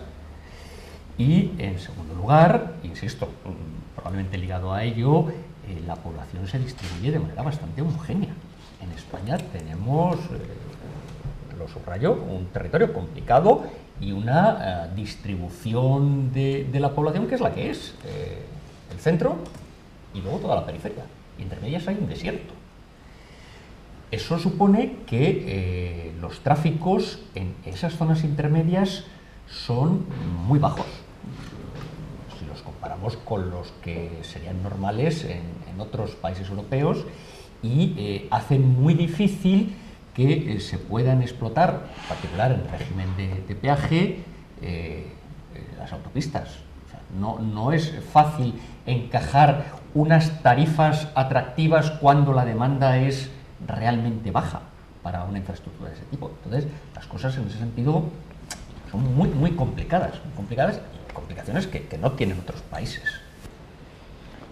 Sí, sí, sí, yo quería referirme también a eso porque, porque, es, una, porque es una obviedad que, que a veces no se, no se tiene en cuenta. Eh, el, territorio que tenemos y la ocupación del territorio que tenemos eh, es una y, y yo creo que hay que plantearse que la política de infraestructuras no la va a cambiar las políticas de infraestructuras Puede, puede, puede ir detrás y servir, pero algunos, algunos lo han intentado o mantenían que se podía intentar. Hasta, no sé si incluso hasta ahora, precisamente, precisamente esa, esa es la cuestión. Eh, si hablamos de mediados del siglo pasado, pues quizás podría, había otros, otros, otros factores, pero, pero ahora es lo que es. Por eso la la, movilidad está concentrada sobre todo, bueno, tanto por, unos, por unos temas o por otros, población, actividad económica, industria y tal, la, intensidad de uso de la, de la, infraestructura está muy densa en unos sitios y muy poco densa en otros. Y esto no va a cambiar eh, de una manera radical. Eh, en ese sentido, eh, vuelvo a insistir en lo que decía, en cuanto a en cuanto a desplazamientos de largo o medio recorrido, no hay insuficiencia de capacidad, prácticamente diría, en, ningún sitio. Eh, otro tema que yo creo que es, eh, que es un tema que también has planteado muy bien es, el, es, el, local. El local tiene, el local tiene dos, dos, dos dimensiones que también hay que, que, con, las que, con las que hay que trabajar con las dos. Una efectivamente es el, es el, territorio de concentración, las aglomeraciones metropolitanas, las grandes capitales, etcétera, y otro y otro es el y otro es el inverso, o sea, es el, el, acceso a, los núcleos secundarios, a, los, a, los, nodos rurales y demás, y en ese sentido, como, como hablabas tú del, del, autobús como modo de transporte público muy importante en este país, por, por, por, muy distintas razones, todas vinculadas también en cierto, en último término con, con, la crisis, estamos viendo precisamente es uno de los, es uno de los sectores que, que sufre menos crisis. El, el, el, uso del autobús en estos tres o cuatro últimos años ha, se ha incrementado de manera muy, muy seria. ¿no? Entonces, claro, ese es un tema que hay, al, que hay que, al que hay que también atender. En el tema, en el tema metropolitano, pues efectivamente hay que, hay que, hay que poner hay que poner la lupa, digamos, en cada uno de los, de los sitios y buscar y buscar y buscar las, las alternativas eh, más, más correctas. Eh, ahí suelen, con, suelen, con, suelen confluir eh, infraestructuras del Ministerio de Fomento con infraestructuras autonómicas y locales, lo cual hace que el, que el proceso de trabajo pues a veces sea más complicado, pero, pero bueno, en ese sentido hay que seguir, hay que seguir trabajando. También hay, también hay una, una situación, vuelvo a decir que esperemos que coyuntural, que el, el, nivel de congestión ha bajado muy sensiblemente. Hay una, hay un, se, publicó, se publicó en medios, no he traído la referencia, la tenía en la, eh, grabada. Eh, se publicó en los medios una multinacional que, que, hace un seguimiento de la congestión en toda Europa a través de, de convenios con los taxistas para seguir los GPS y tal embarcados y, y claro, en, en, en España la, la, tasa, el indicador que ellos, que ellos utilizan, pues ha, pues ha caído con un 80%. ¿no? Entonces, claro, eso es una, quizás una oportunidad para, para ver si podemos hacer las cosas y, y prepararnos para el futuro. Pues muy bien, no sé si... Sí, una, una cosa, un último detalle. Una alternativa, por ejemplo, ahora que hablábamos de los peajes, ¿por qué no podemos utilizar las autopistas de peaje que mm, ahora mismo, si por el día van más vacías que antes, por la noche van prácticamente en la soledad absoluta? Eh, mm, ¿Por qué no podemos utilizarlas para que los camiones vayan por allí a, una, a la mitad de, de, la, de lo que cuesta la tarifa durante el día? Eso requeriría poner de acuerdo a la Administración, los concesionarios de las autopistas y bueno, el sector de los transportistas que bueno, en el sentido que se veía beneficiado parece que sería el hueso menos duro de roer. ¿no?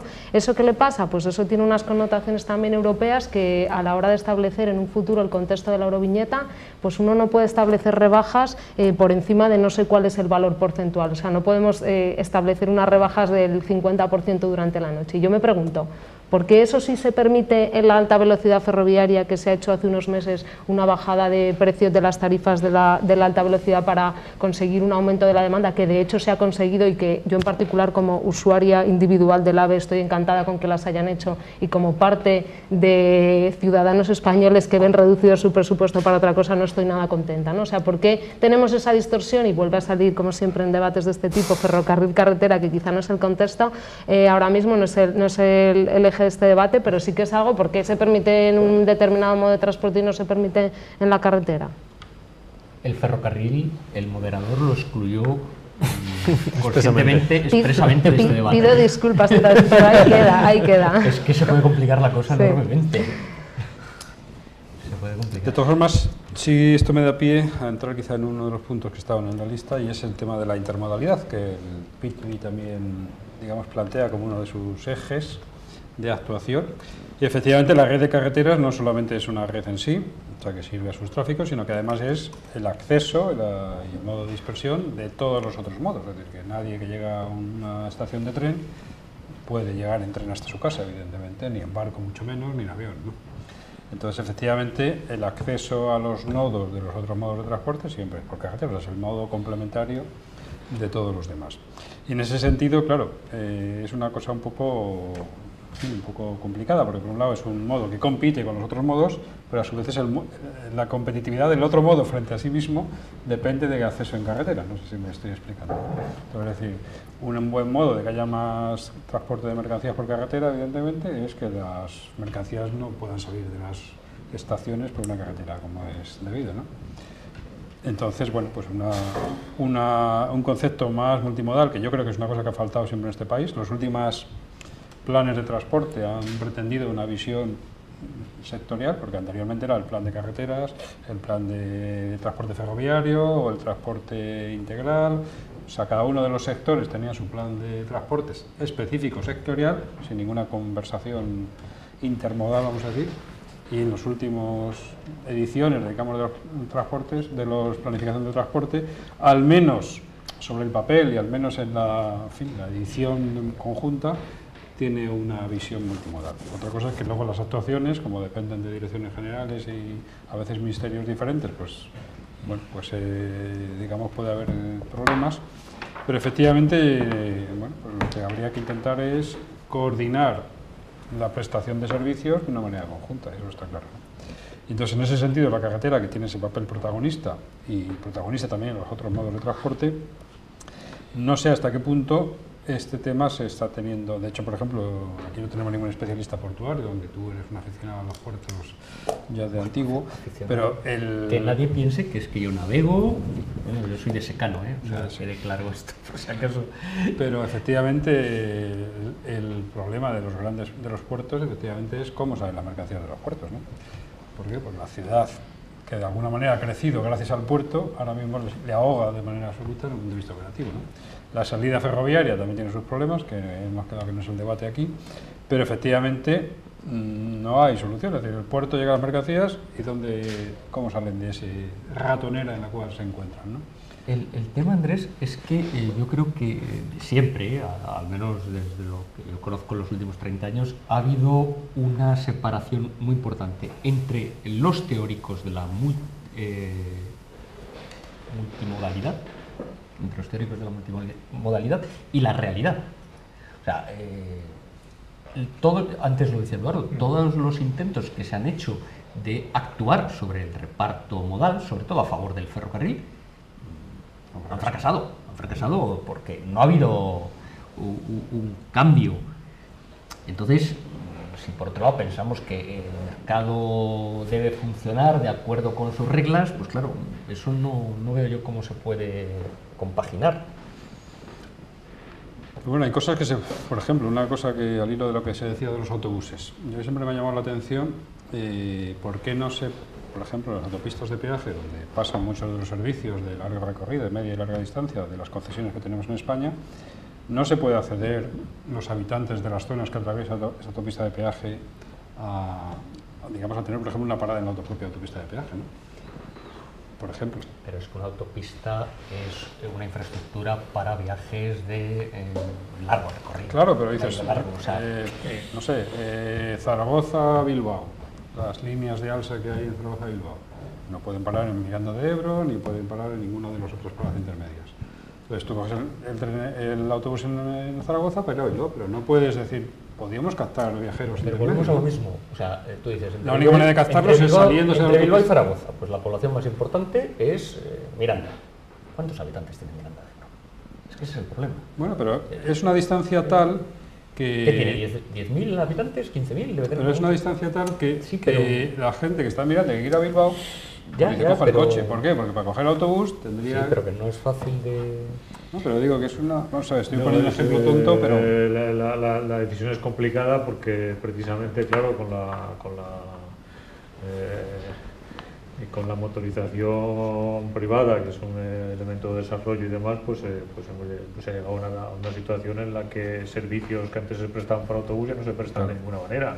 Eh, lo que comentaba antes, en, en entornos rurales. Eh, ahora, pues con, con, este tema de la reorganización ferroviaria, habrá, habrá algunas líneas de, de, autobús que en ese sentido puedan revitalizarse, pero, pero efectivamente hay que, hay que, hay que plantear cuál es el, cuál es el, el, mercado potencial y, el uso potencial, claro, si el, si el, si el ciudadano se tiene que desplazar, aunque sean 4 o 5 kilómetros, a, a, un, a, una terminal de paso, pues tampoco va a tener un, va a tener una, una utilización muy, muy, muy, muy, intensa. Esto, claro, hay una, hay una alternativa que efectivamente es una alternativa, digamos, de, de movilidad obligada, que es que habrá alguna línea de autobús o dos, una de, sí, sí. Una de Bilbao a Miranda y otra de Miranda a Zaragoza o tal, que, claro, pero, que, pero le, que le permita, final, pero efectivamente... La, la administración el, el, tendrá que establecer eh, obligaciones de, de, servicio público y mm, compensarlas claro. adecuadamente. No, claro, pero por ejemplo, en este caso, si hubiera un, un, un sistema de park and ride al, al paso de por Mm. Miranda de Ebro de los servicios de Alsa, pues claro, que salga el servicio, de, de hecho, vamos, es un servicio que he utilizado. Y de todos los servicios que hay al día, me parece que son del orden de 10 o 12, Zaragoza y Bilbao, solamente hay dos que salen en Miranda. claro, evidentemente nadie le va a compensar porque tiene que... Claro. Si todos pararan, se Es pudieran... el mercado que han, Claro. que han pensado. Claro. Pero sí, bueno, y ahí hay un nicho de oportunidad y es que ahora mismo se están poniendo cada vez más limitaciones, con razón, a acceder en coche a las ciudades. Es decir, en Madrid y en casi todas las ciudades ahora mismo no puedes aparcar más de determinado tiempo, etcétera. Con lo cual ese recurso fácil que la gente de las periferias urbanas utilizaban para ir a la ciudad, que cojo mi coche y me desplazo en tiempos de una hora de viaje o lo que sea, ahora mismo crea un problema y es que no puedes dejar el coche en la ciudad, no puedes dejar el coche en destino. Entonces te tienes que plantear pues, sistemas de park and ride, pero que no están, me parece a mí, en la médula del diseño de los servicios de otros modos de transporte. Eso nos lleva a otro, otro asunto relacionado con el desarrollo de la infraestructura que no hemos tocado, me parece, hasta este momento, que es un tema que me consta que a ti te gusta mucho, que es el de las plataformas reservadas de, de autobuses para el acceso a las grandes ciudades, eh, desde su periferia metropolitana o, o regional. Pero desgraciadamente, según las últimas noticias, eh, el Ministerio de Fomento ha decidido olvidarse de- del tema. De- de- por ahora, ¿no? Digamos. eh, en Eh, en Era, era un tema, yo, yo siempre lo había visto estando. de una eh, muy complicada viabilidad, un tema muy complicado por muchas razones. Además, eh, en, en la mayor parte de los itinerarios radiales de acceso a Madrid las cosas se complicaban a raíz de dar en concesión las autovías de primera generación, con lo cual ya solamente quedaba libre de la A1, que es el que se ha dicho que no va, que se para de momento. Entonces el tema es, es- es complejo. Es ¿eh? complicado, sí. Es complejo. Pero vamos, también es complejo porque el, el planteamiento de diseño sería aumentando capacidad. La cuestión es si ahora hay una capacidad Eh, excedente. digamos, redistribuyendo capacidad. Bueno, en muchos casos era un carril nuevo. Sí, sí, eh, con, con la visión que se tenía hace 10 años, Claro, evidentemente. sí, porque a lo mejor ahora la visión puede ser aprovechemos la, la capacidad no utilizada. Pero que el tema es muy difícil. es muy difícil. Bueno, y es Sí, fundamental. un poco lo que, lo que decía antes, ahí hay que poner en la mesa y, se- y poner de acuerdo a mucha gente y, y esto pues, eh, pues eh, Nos en encontramos, cuanto pensemos a corto plazo pues, pues nos quedamos, encontramos no eh, solamente como agentes con el gestor de la infraestructura, los que desarrollan los servicios de autobuses, sino también con problemas de tipo urbanístico en muchos casos. sí, sí, claro, lo cual ya es, eso, es un- sí, eso sí que son palabras mayores. En el ámbito urbano, que también es un ámbito que conozco un poco mejor, es, eh, vamos, es eh, un, digamos, una cuestión de manual, ¿no? Es decir, en el momento que hay una reducción de demanda, si quieres introducir algún tipo de política de, de regulación del tráfico, es el momento. Es decir, el momento que te sobra capacidad, reduce la capacidad, ¿no? Es decir, quita un carril o dedícalo a carril bus, o etcétera. Porque si esperas un poco de tiempo, Sí, sí, inmediatamente no, se colmata claro. porque hay una demanda Pero- inducida que inmediatamente cubre ese hueco, ¿no? Hay que aprovechar esas oportunidades, como puede ser ahora este tema de la crisis o puede ser el tema de la mayor dificultad de acceso a ciudades, para plantear transporte multimodal basado en esa red que tenemos con una capacidad de alguna manera disponible. ¿no? Bien, pues yo creo que es ya tiempo de ir concluyendo. Ya me gustaría como una, en fin, una ronda final que, no sé, que alguno dijerais lo que os haya quedado en el tintero, que todavía no hayáis, o algún aspecto que queráis señalar, porque creo que ya no da tiempo a, a abordar en profundidad ningún otro de los temas que están aquí planteados. Yo no sé si ir con el mismo orden, ¿quieres decir alguna cosa más? O, o si- Pues prácticamente- Con libertad, se tira con libertad, vamos. ¿no? Pues prácticamente, no, yo creo que se ha, se ha, se ha dado una vuelta a muchos temas importantes. eh, eh, digamos que desde, desde el punto de vista de racionalidad técnica parece que no es tan difícil tener alguna, alguna, algún planteamiento de consenso sobre estos temas, pero claro, la puesta en práctica, cuando aparecen intereses económicos y sectoriales, territoriales, etcétera, pues eh, hay, hay que, hay que entender que la, que la cosa se ponga un poco más difícil.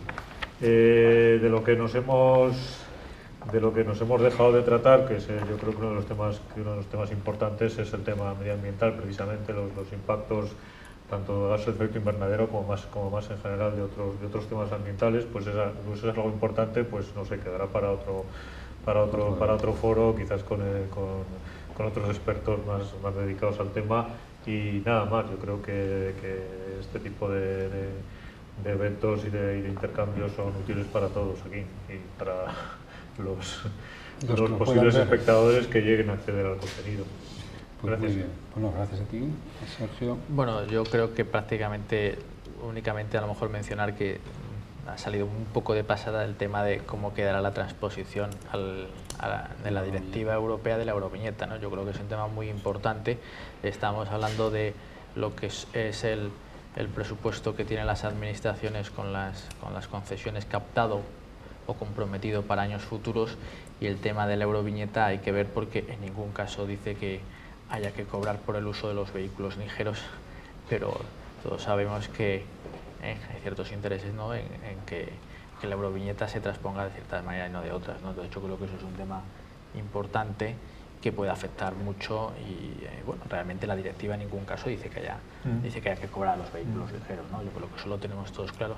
es un tema que no, que no lo hemos eh, Yo no sé si estaba Elena el día de la reunión aquella que tuvimos en la Asociación Española de la Carretera.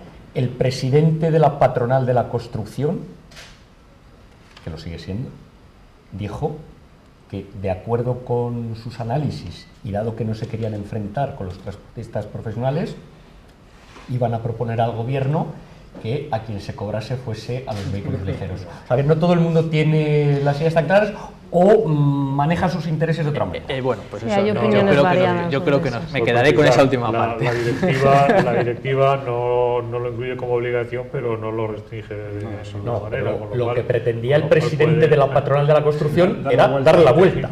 Darle interpretarlo al revés. Bueno, hay países que lo están cobrando a los ligeros ya, o sea que... Bueno, pero que otros lo cobren no quiere decir que nosotros tengamos que cobrar. no sé si me explico. Tiene pinta que eso, eh, eh, porque además, sobre todo, se enfoca, y esto es un tema muy importante, se enfoca con una visión de negocio. No lo cobra el Ministerio a través de una sociedad estatal, efectivamente, se cobra a través de unas concesiones. Mm que ganan dinero, entonces volvemos, es un matiz pues, muy importante yo querido colega, yo eh, algo de eso le dije a, este señor y me respondió, al, Elena a lo mejor lo recuerda, que es que yo tenía prejuicios ideológicos. Bueno. bueno, yo creo que ese es un tema que está en el debate, está en la agenda política, pero según va pasando la legislatura, se acaba, eh, acaba eh, quedando en la siguiente. se resuelve de una manera muy sencilla. Quien debe, quien debe levantar el estandarte es el Ministerio de Fomento y exclusivamente en defensa de los intereses generales. Los intereses de determinados grupos son muy importantes para ellos, pero no deben prevalecer sobre el interés general. Esa es una cuestión. Pero es un tema muy importante porque ahora igual que nos acordamos de las concesiones de los contratos de las autoridades de primera generación, que pues ahora todo lo pasado, o incluso antes, ¿no? como decía Miguel Ángel, vemos, vemos las consecuencias, esto también tiene consecuencias y tiene beneficiarios, evidentemente. Ellos lo que buscan es el otro negocio. Otro negocio. Y perjudicado, el perjudicado evidentemente es el usuario, el contribuyente ¿no? y, el ciudadano al final, yo creo. Bueno, pero es un tema que no hemos tratado mucho. Yo creo que es un tema muy importante, sobre todo en un país en el que la carretera se usa mucho. Yo creo que da para otro punto de encuentro, ¿eh? el tema del pago. Yo, yo, quiero venir, ¿eh? Siempre, siempre y cuando no haya constructores. Porque en ese caso que no estaría ni, siquiera ahí. financieras, ¿no? No, yo creo que los financieros. Bueno, en ese caso no sabremos lo que pone la directiva, pero seguramente ponga. Eso al final. Bueno, bueno yo. Ah, bueno, perdona, Sergio. No, no, no, en absoluto. Y un poco, bueno, hemos hablado de muchos problemas, hemos hablado de mucha crisis y sí que quería dar un, una, un poco de conclusión, un mensaje un poco más en positivo, ¿no?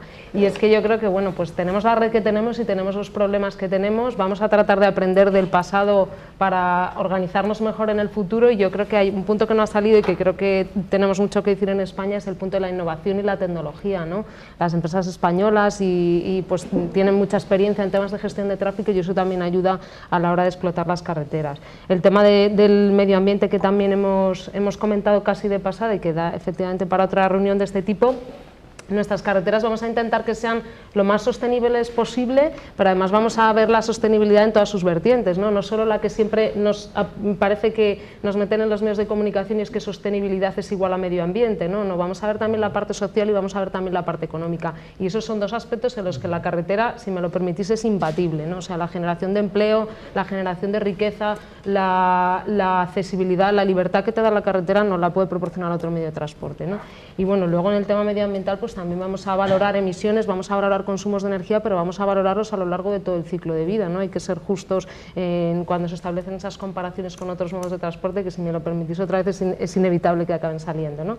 Y bueno, ese mensaje en positivo de, que nos proporciona la carretera, la, capacidad pues, de llegar a todos los rincones. ¿no? Al final, eh, los que estamos aquí hoy, yo creo que vivimos en Madrid y tenemos una red de carreteras mm, mm, en ocasiones congestionada, pero una buena red de carreteras, pero si además si no tenemos coche, eh, pues tenemos un medio de, un transporte público a través de metro, autobús o, tren que nos permite llegar a muchísimos rincones, pero es que no todo el mundo vive en las grandes ciudades, hay mucha gente que vive en pequeñas poblaciones en las que si uno no llega por carretera directamente no llega.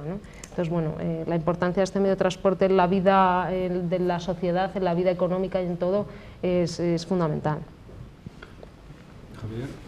Sí, bueno, yo por concluir y bueno, mm, no dejar de agradecerle el interés del debate y el formato, mm, me gustaría bueno, lanzar una reflexión también para un posible para otro posible punto de encuentro y es eh, bueno, la sensación de que probablemente la movilidad empieza a crecer cuando digamos la sensación que parece que está eh, de optimismo o de optimismo relativo que se está empezando a, ver eh, va a crecer probablemente antes que se produzca un crecimiento equivalente de las inversiones. Es decir, probablemente vamos a tener muchísimos más kilómetros de vehículos en las carreteras y mm, van a verse abocados a, un estado de las carreteras eh, a los que probablemente digamos, no esté el, conductor suficientemente eh, habituado, porque es cierto que también se ha lanzado un poco en el debate que digamos, mm, toda la presión impositiva que se ha hecho sobre el conductor probablemente ha ido más condicionada a vías de alta capacidad con una reducción de velocidades excesivas.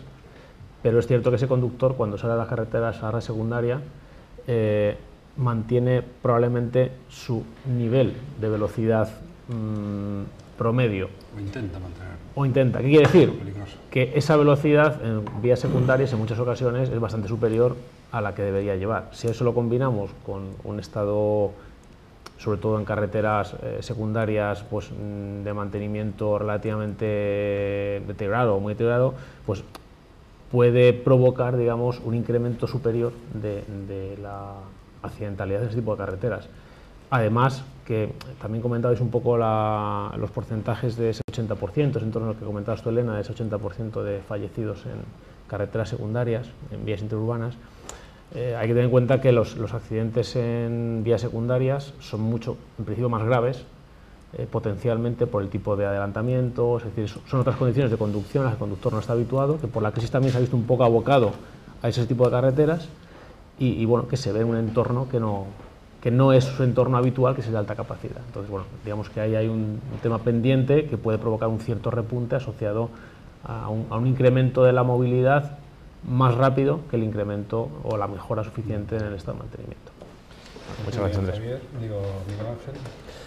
Eh, a mí me gustaría acabar simplemente, eh, como acaban, eh, un artículo que escribieron a finales de 2008 Jesús Rubio y Justo Borrajo, que son probablemente dos de los mayores expertos en planificación de carreteras en España. su artículo decían, al final, eh, debemos plantearnos si la planificación que estamos haciendo tiene credibilidad. Ante una posible respuesta negativa, cabe prescindir de ella o modificarla de forma que sea un referente cierto de lo que vamos a hacer en un determinado periodo de tiempo. En definitiva, yo creo que es muy importante planificar y que esa planificación se haga sobre unas bases eh, serias. Pues muy bien, bueno, pues por un poco por cerrar, pues yo creo que hemos todos coincidido en que tenemos una buena red de carreteras, o por lo menos una red de carreteras suficiente, en un estado razonablemente bueno, con tendencia al deterioro, digamos, que hay que intentar atajar. También yo diría que hay que señalar que tenemos un, patrimonio que no es eh, infraestructural, pero es del conjunto de empresas que se ocupan del sector, que probablemente sabemos que son líderes en el mundo, cosa que no todos los países cuentan con ello. A veces los países tienen problemas en su red de carreteras, pero no tienen a quién acudir para resolverlo, tienen que acudir fuera del país.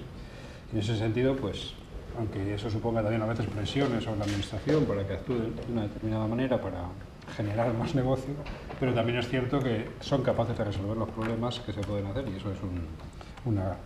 Y yo diría también que tenemos una capacidad excedente, como se ha puesto de manifiesto en esa red, por el motivo de la crisis, pero también tenemos quizá por motivo de la falta de inversión y por tanto de proyectos, tenemos una capacidad excelente de, en la propia administración y en las empresas. Hay gente que ahora puede dedicarse a pensar las cosas de otra manera y pensar en esa planificación que antes quizá pues, está un poco más con la lengua afuera diciendo, oye, ¿qué, tenemos que sacar? Yo recuerdo algún comentario pues, eh, concretamente de una persona que trabajaba en el Ministerio de Fomento y que estaba en los comités de trabajo del programa marco de la Unión Europea intentando sacar proyectos y más de y de alguna manera al Ministerio le dijeron, mira, no puedes dedicar tiempo ya más a esto porque es que lo que necesitamos es que dirijas proyectos y estés sacando a concursos las licitaciones que, que no llegamos, ¿no? Ahora no es ese el escenario, hay pocas licitaciones, hay muchas menos, y por tanto esa capacidad también, digamos, ingenieril y de gestión que tiene la Administración puede dedicarse a pensar las cosas de otra manera, ¿no? que puede ser el tema de cómo afecta la crisis, cómo diseñar nuestro, el uso de nuestra red de una manera más multimodal, considerar los temas de sostenibilidad, prestar más atención a, bueno, a la integración de las necesidades sociales en su conjunto y cómo, utilizando esa red, que sirva de palanca para el desarrollo de la actividad y de las necesidades sociales, y, bueno, pues por ejemplo, a lo mejor estudiar pues, este tema de la euroviñeta, cómo, cómo se podría incorporar a la gestión de nuestras carreteras de la manera más efectiva y, digamos, con beneficio para el conjunto de la sociedad más extensivo. Bueno, no quiero acabar sin dejar de dar las gracias a todos los que habéis participado aquí. A vosotros. La verdad que nos haya liado de esta manera tan y bueno, y también a la universidad que, bueno, que hace este foro, que creo que es una manera también de estar presente en la sociedad y facilitar el conocimiento que podamos desde la universidad pues acumular, pues también beneficia al conjunto de los ciudadanos y, de los estudiantes de esta universidad en particular. Así que muchas gracias y no sé si habrá un nuevo punto de encuentro. Aquí las responsables de este tema pues están, tienen la palabra, pero bueno, de luego temas en el tintero se han quedado y el debate puede continuar con otros aspectos que, nos hemos quedado sin tiempo para tratar. Así que muchas gracias.